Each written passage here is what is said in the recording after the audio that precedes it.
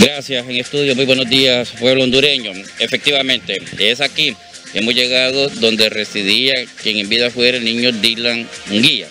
Pero hemos venido acá porque la madre está un poco molesta debido a que la foto de su hijo ha circulado como que fuera el supuesto chor, lo cual aduce que su hijo no tiene nada que ver.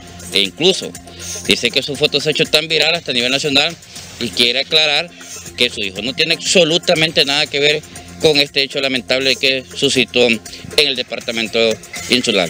Escuchemos lo que nos pronuncia la madre referente a esta acusación que para ella es injusto lo que están haciendo contra su hijo. Bueno, es parte de lo que está ocurriendo en Roatán, Islas de la Bahía.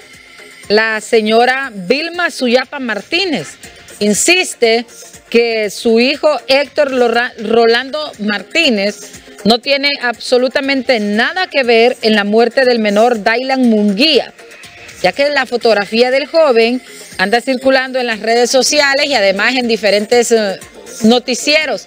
Por esta razón, ella quiere dejar claro ante la opinión pública que su hijo es inocente de lo que se está acusando. Esto es lo que ha ocurrido en Roatán gracias a Rigor.